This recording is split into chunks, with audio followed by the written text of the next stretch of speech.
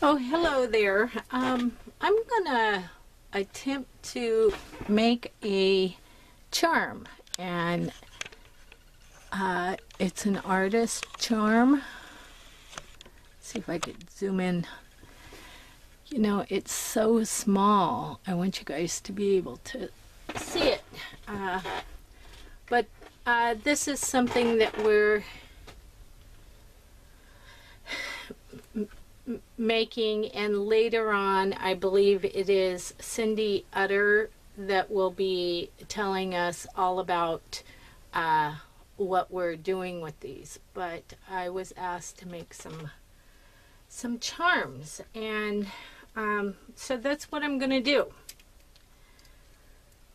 Um, I gotta stop saying um that's me trying to put my thoughts together about what I want to say. And uh, this is a bezel, I think is what this is called. Um, that's pretty good. You know, uh, it's, uh, you know, just a metal piece that you can uh, hang it on a chain, you know, for a pendant or something. And it's, it's pretty you know, it's about as big as a silver dollar, is what I want to say. But um, I thought since this was, excuse me, for an artist uh, charm, um, I want to, I'm going to kind of do a, a color wheel this brush has seen better days.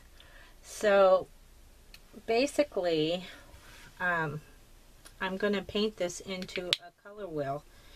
And I tried experimenting about using markers, and that didn't work out too well. And I tried uh, watercolor, but that activates. Uh,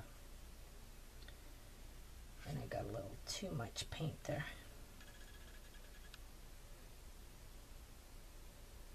But um, so I decided to go with acrylic.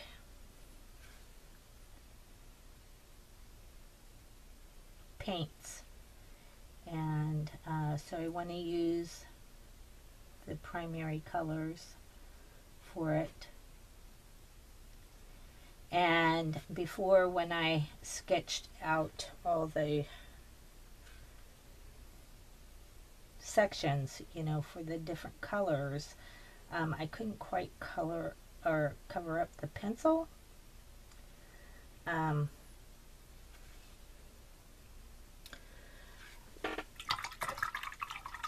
so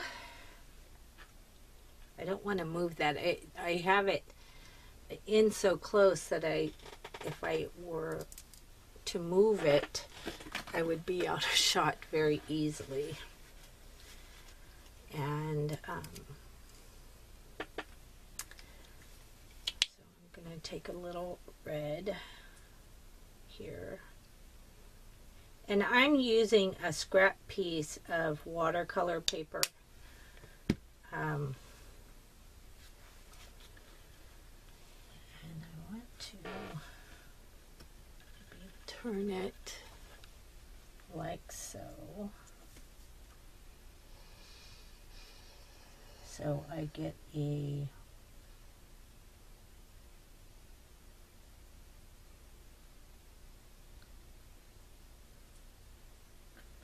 you know, I want to paint wedges, which are just triangles on here. And if I go out the outside line, that's okay. Um, because we're going to cut it down to fit the size of the bezel. and let's see, I want um, I I sort of did that backwards from what I did last time. You know, I put the blue on that side, but that's okay. The important thing is just getting a little blue paint out here. Not too much water. And I'm really close to the top there. There we go.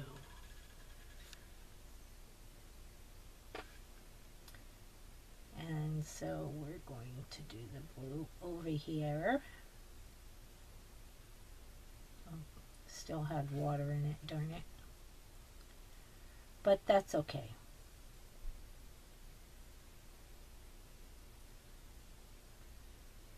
So,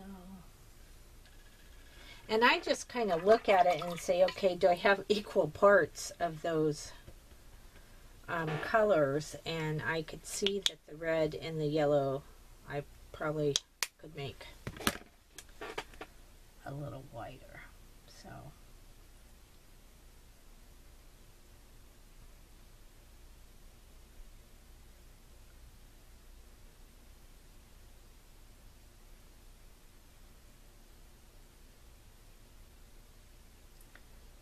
because those are our primaries.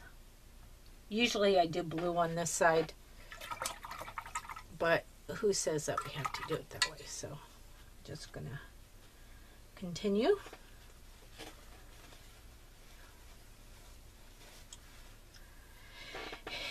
And let's see. So, you know, when you mix red and blue together, you get a purple.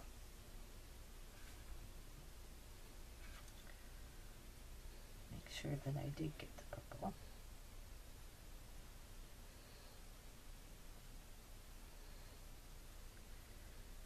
And so I'm just going to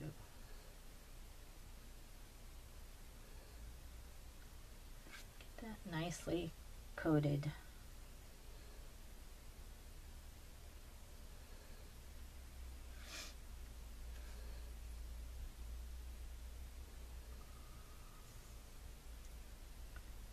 Like so. And then of course when we mix the red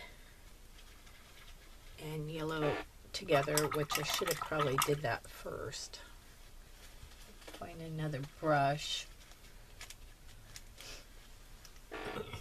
We get orange and I have orange paint, so I'm going to use the orange.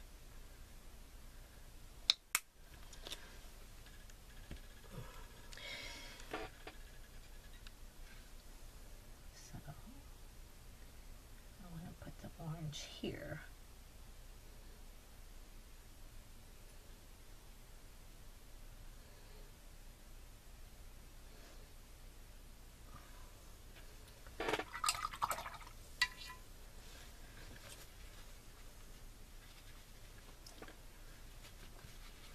Why I rinsed out my brush. I want it.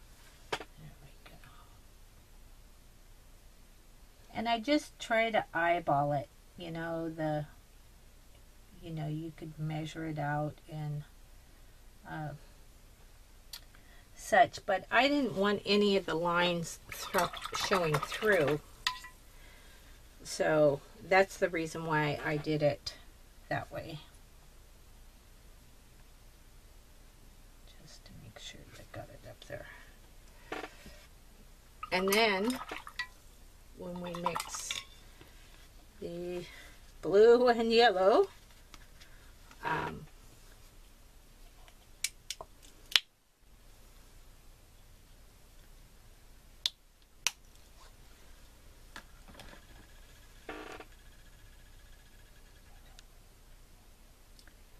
yeah, this charm would be kind of neat, you know, to hang off of your uh, journal, your art journal.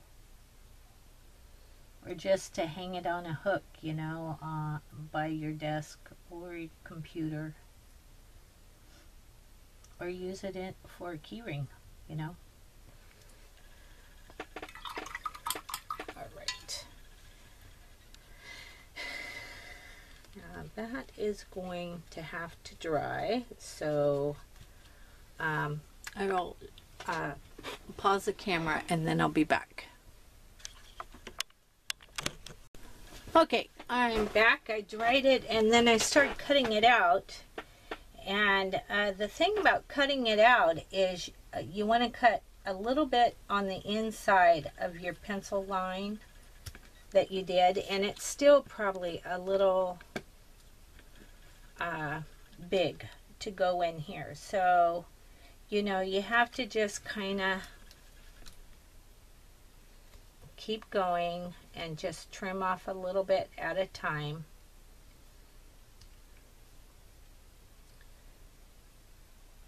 And uh, last time I used the watercolor paper, it kind of floated up in the solution that I'm going to put in there.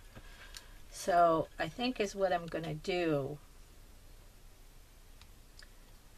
is maybe use just a little clear glue to uh, and like that.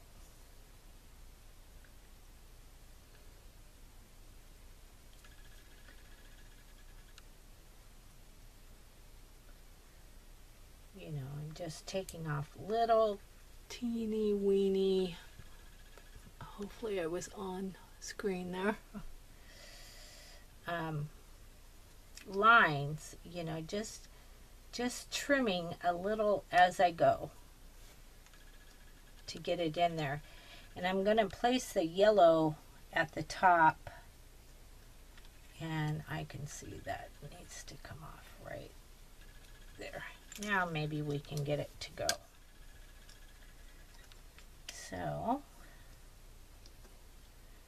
and see it's it's sort of a, a snug fit in there but for right now I don't because it'll float up.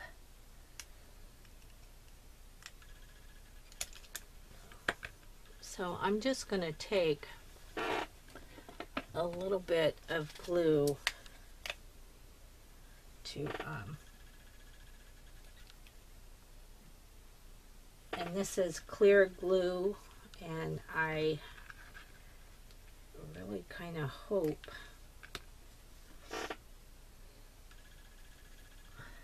well seems to be at the other end. Okay. So maybe I'll do that.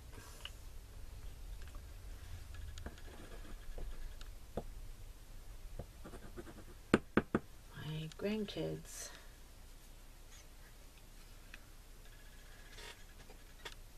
There we go.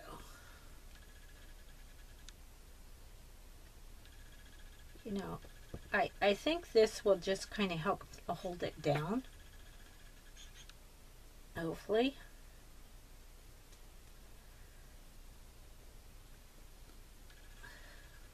I didn't put glue in the ones that I practiced with. Um,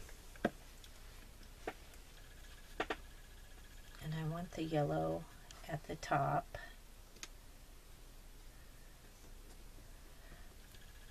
And just kind of really press down the edges. You know, just make sure that, you know, you can even take a something to do that with. And um, basically, uh, is what I did is I purchased uh, this Mod Podge, um, what's it called? Uh, what do they even call it? Dimensional Magic is what it is. And there's the name of it.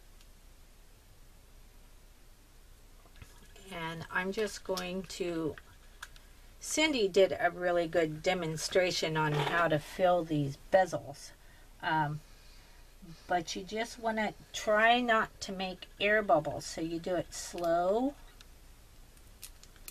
Oh boy. Everything seems to be bent over.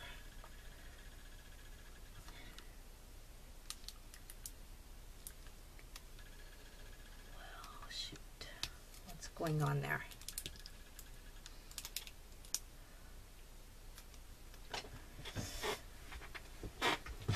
to find a, a pin to poke it.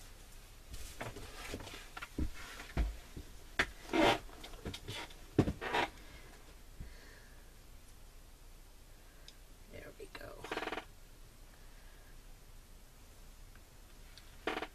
And make sure that it's at the tip so we don't get air and then you just kind of hope you guys can see what I'm doing there. Um, but I just kind of gently squeeze as I'm going. And it comes out real cloudy like that. And I have one little air bubble in the middle of it and um, and as what I've been doing is just take my finger if uh, I'm gonna make sure that that paper is down.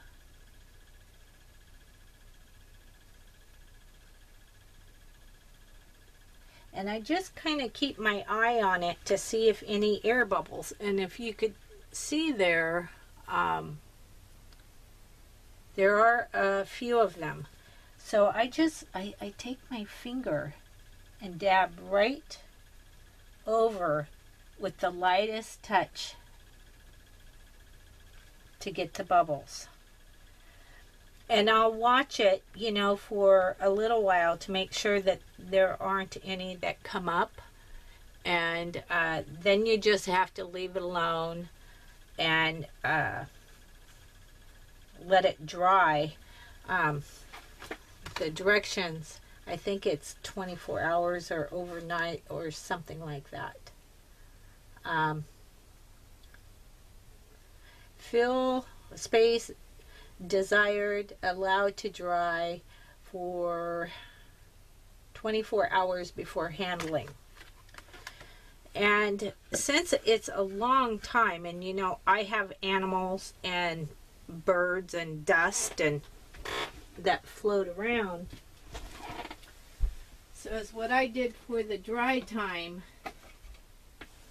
was to just take, you know, I saved these little plastic containers to, you know, put paint in or beads or whatever.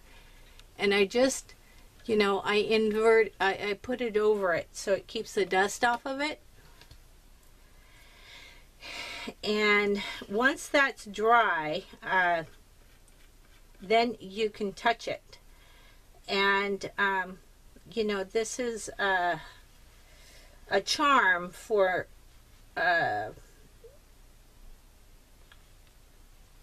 an uh, artist and maybe I could kind of set this off to the side um, and zoom out just a little maybe. So you know I don't want I it needs to be level. And so very carefully bring it over here.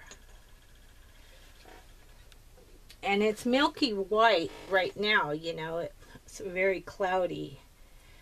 And but once it's dry it it dries clear like this.